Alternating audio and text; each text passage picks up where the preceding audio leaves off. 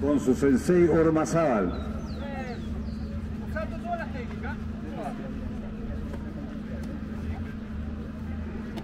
Ahora estamos viendo eh, la aplicación de las técnicas del judo Randori, que es un combate que se llama un combate pactado, podríamos.